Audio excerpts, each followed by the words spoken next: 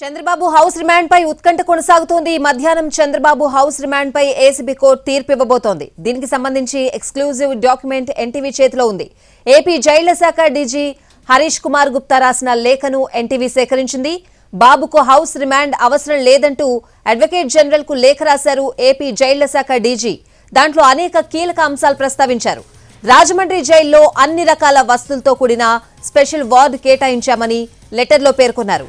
బాబు ఆరోగ్యాన్ని దృష్టిలో పెట్టుకుని స్పెషల్ బ్లాక్ శానిటైజ్ చేశామని తెలిపారు. చంద్రబాబుకు ఉన్న స్నేహ బ్లాక్కు అత్యంత కట్టుదిట్టమైన భద్రత కల్పించామని లేఖలో వెల్లడించారు. చంద్రబాబు ఉన్న బ్లాక్ దగ్గర మూడంచెల భద్రతను ఏర్పాటు చేశామని లెటర్లో ప్రస్తావించారు. స్నేహ బ్లాక్ మొత్తం సీసీ కెమెరాలు పెట్టామని స్పష్టం చేశారు. స్పెషల్ వార్డ్ ముందు ప్రత్యేక వైద్య బృందం ఇరవై నాలుగు గంటలు ఉంటుందని పేర్కొన్నారు. ఏసీబీ న్యాయమూర్తి ఆదేశించినట్టే చంద్రబాబుకు అన్ని వస్తువులు కల్పించామని డీజీ తెలిపారు. కేవలం చంద్రబాబు అనుమతించిన వారికే ఎంట్రీ కల్పిస్తున్నామని అన్నారు. Rajahmundry central jail superintendent Chandrababu భద్రతను ఇరవై నాలుగు గంటలు పర్యవేక్షిస్తున్నారని డీజీ లేఖలో వెల్లడించారు.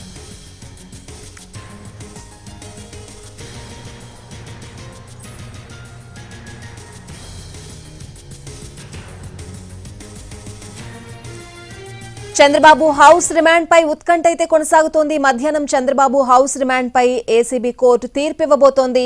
పూర్తి అప్డేట్స్ అని తెలుసుకుందాం. మా ప్రతినిధి దినకర్ పూర్తి అప్డేట్స్ అందిస్తారు. దినకర్ డీజీ రాసిన లేఖ కూడా ఎక్స్క్లూజివ్గా మనం ఇప్పుడు చదివి వినిపించాం. అందులో ఏమేమి ఉంది అని చెప్పి. సో ప్రస్తుతం అయితే ఒక ఉత్కంఠ అనేది కొనసాగుతోంది. దినకర్.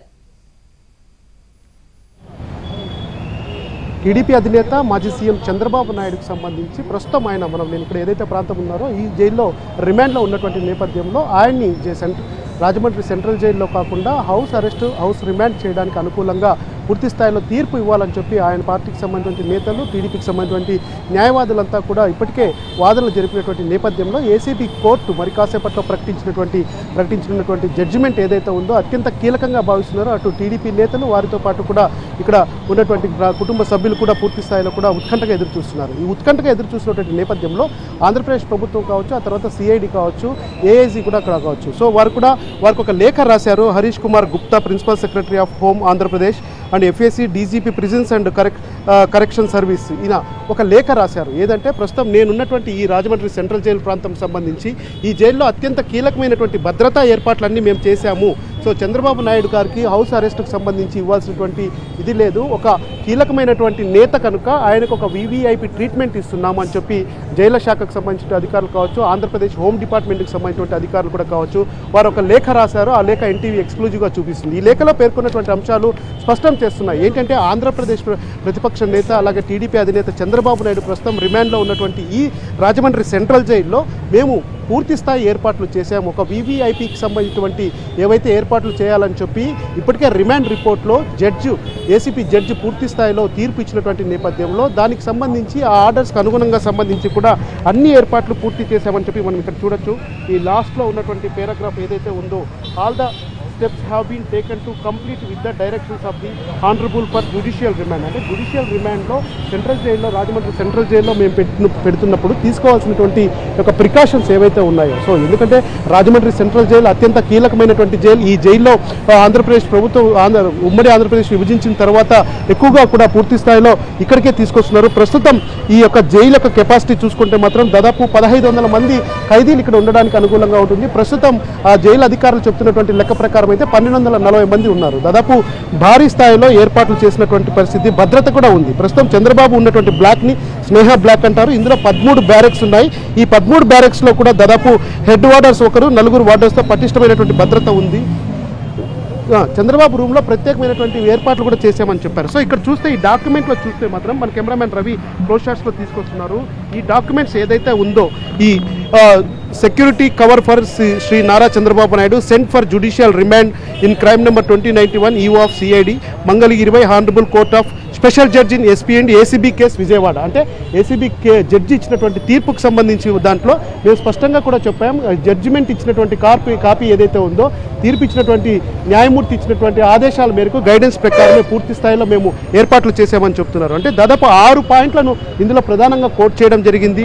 ఇదే కాపీల్ని అడిషనల్ అడ్వకేట్ జనరల్ ఆంధ్రప్రదేశ్ కూడా కోర్టులో సబ్మిట్ చేశారు. అంటే వాదనలు పూర్తి అయ్యాయి. House petition house petition house arrest రిమాండ్కి సంబంధించి కూడా పిటిషన్కి సంబంధించి కూడా తీర్పు వస్తున్నటువంటి నేపథ్యంలో ఇందులో ఉన్నటువంటి అంశాలే ప్రధానంగా ఏఐజీ కూడా కోర్టుకు సమర్పించినటువంటి పరిస్థితి ఉంది. దాదాపు ఆరు అంశాలను ఇందులో ప్రధానంగా చర్చించడం జరిగింది. ఒకటి Ravi in accordance to the in accordance with the directions of Honorable Court SP and ACB cases, Vijayawada on the 10th September 23 following steps have been taken to provide security over leader of opposition N. Chandrababu Naidu, who has been remanded for judicial custody by the Honorable Court. He has been admitted to the Central Prisonary Rajmandri. A separate and exclusive ward has been organized and it is separated from the regular prisons and blocked to have the sta- sanitised అంటే పూర్తిగా sanitising చేశాము. ఆ తర్వాత ఎక్స్క్లూజివ్గా black స్నేహ black ఏర్పాటు చేశారు.